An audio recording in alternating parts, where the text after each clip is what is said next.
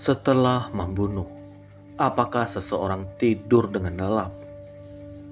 Setelah membunuh, apakah seseorang tidak bersedih? Apakah satu hal, Ogotama, yang pembunuhannya engkau setujui? Setelah membunuh kemarahan, seseorang tidur dengan lelap. Setelah membunuh kemarahan, seseorang tidak bersedih. Pembunuhan kemarahan, oh Brahmana, dengan akar beracun dan pucuk bermadu. Ini adalah pembunuhan yang dipuji oleh para mulia. Karena setelah membunuh itu, seseorang tidak bersedih. Marah adalah salah satu faktor mental yang merusak. Dia bersifat menghasut siapa saja yang dipengaruhinya. Mulai dari rasa tegang, wajah memerah, darah seolah mengalir deras, dan sebagainya. Ketika seseorang batinnya dikuasai kemarahan, maka dia tidak dapat melihat dengan jelas masalah yang sedang terjadi. Karena pikirannya didominasi oleh emosi negatif, sehingga logikanya tidak berfungsi dengan baik. Selain menyebabkan sakit mental, kemarahan yang berlangsung lama akan membuat pelakunya mengalami persoalan pada jasmani. Menurut buku The Healing and Diseases, marah atau dendam menyebabkan imunitas tumbuh mati. Di situlah bermula awal segala penyakit muncul, seperti kolesterol tinggi, darah tinggi, jantung, rematik, artritis, stroke, dan lainnya dosa carita. Itulah kata yang cocok dalam bahasa Pali untuk menggambarkan seorang yang memiliki sifat pemarah. Kalau kita tidak dapat mengendalikan kemarahan, maka kita yang akan dikendalikan kemarahan.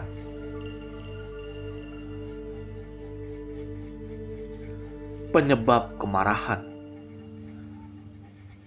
marah sekecil apa pun kadarnya muncul karena faktor fisik atau mental. Marah yang dipicu oleh faktor fisik, misalnya karena kerja berlebihan, kelelahan, perubahan hormon dalam tubuh, misalnya wanita yang mengalami menstruasi, atau ketika tubuh kekurangan cairan atau dehidrasi, dan tidak diimbangi dengan meminum air hal itu pun dapat menimbulkan kemarahan.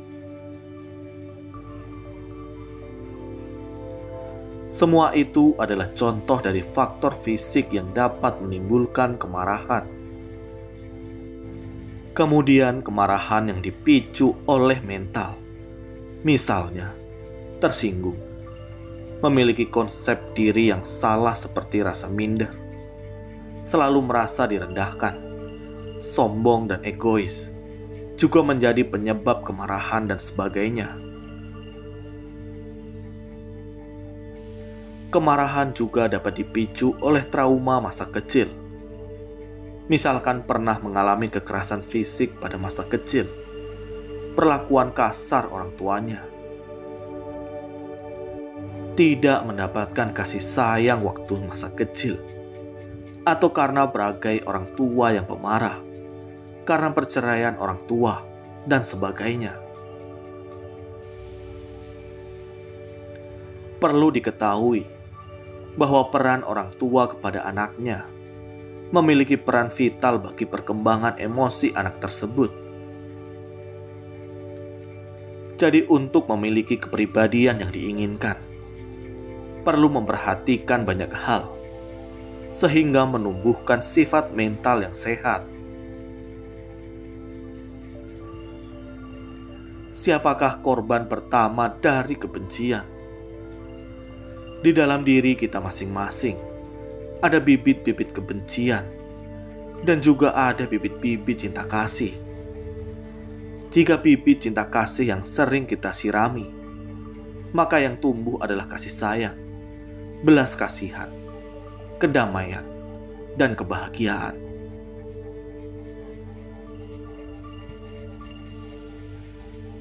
Jika kita sering menyirami bibit kebencian, maka yang tumbuh subur adalah kemarahan, kejengkelan, dendam, mudah tersinggung, iri hati semakin menguasai diri kita, dan lain sebagainya. Oleh karena itu, jika kita memelihara kebencian di dalam diri kita dan membiarkannya tumbuh subur, maka akan sangat berbahaya sekali dalam hidup kita maupun orang lain.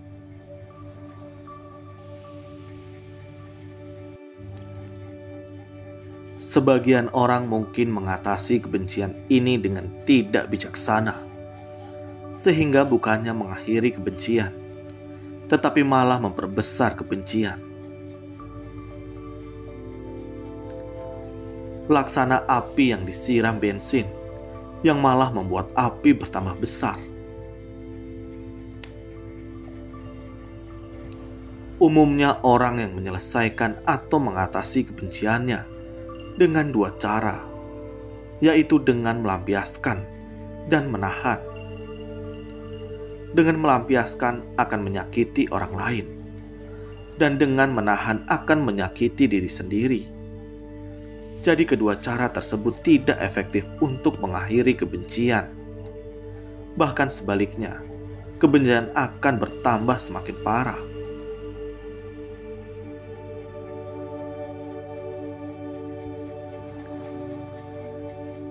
Cara ketiga adalah yang sesuai dengan Buddha Dhamma, adalah dengan cara melepaskan kebencian. Cara melepaskan yang paling efektif agar kebencian, kemarahan, dendam bisa berakhir.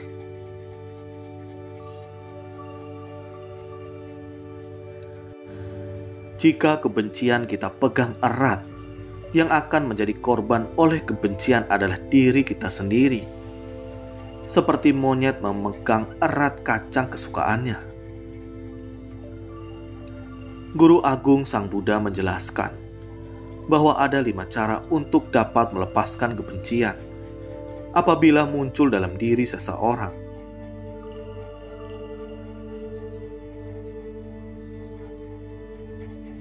Satu, mengembangkan cinta kasih. Ketika muncul kebencian pada diri kita terhadap orang lain, maka kita harus berusaha mengembangkan cinta kasih atau meta dengan sebaik-baiknya, sehingga kebencian pada orang tersebut dapat dilepaskan.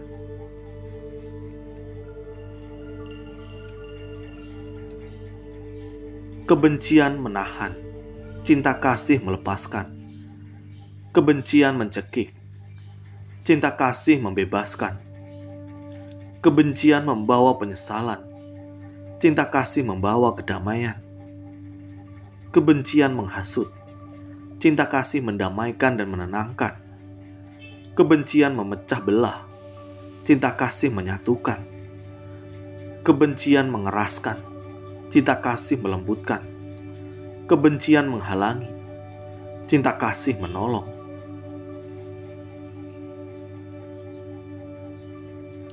Melalui cara yang tepat dan pemahaman benar tentang akibat kebencian dan manfaat cinta kasih. Hendaknya selalu mengembangkan cinta kasih. 2. Mengembangkan belas kasih.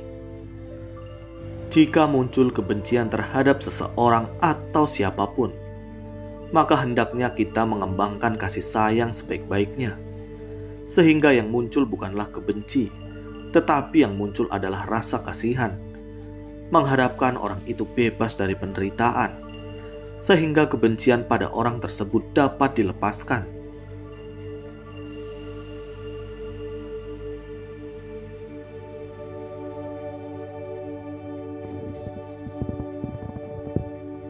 Tiga, mengembangkan UPK.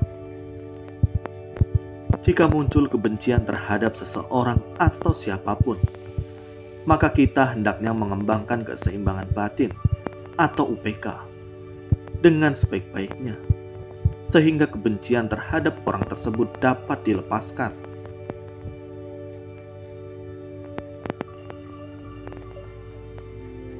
Empat, tidak memperhatikan dan tidak memikirkannya. Jika muncul kebencian terhadap seseorang atau siapa pun, maka kita harus tidak memberikan perhatian kepada orang tersebut atau memikirkannya. Artinya, dengan tidak memikirkannya, kita tidak memberi kesempatan kebencian berkembang.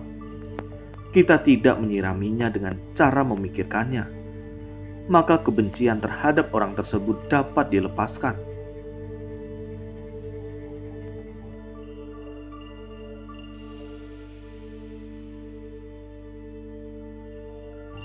5. Merenungkan fakta pemilikan karma dari orang itu. Jika muncul kebencian terhadap seseorang atau siapa pun, maka kita seharusnya mengarahkan pemikiran kita kepada fakta nyata tentang hukum karma. Bahwa dia adalah si pelaku bagi karmanya sendiri, pewaris karmanya sendiri, lahir dari karmanya sendiri berhubungan dengan karmanya sendiri dan tergantung dari karmanya sendiri.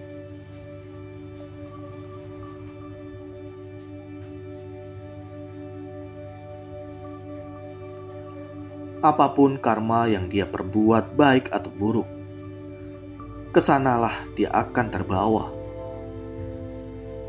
Dengan demikian, kebencian terhadap orang tersebut dapat dilepaskan.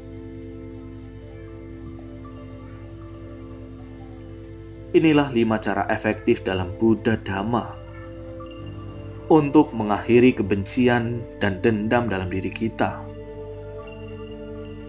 Dengan menggunakan cara tersebut di atas, diharapkan kita semua bisa mengakhiri kebencian yang sudah muncul maupun yang akan muncul dalam diri kita dengan cara melepaskannya.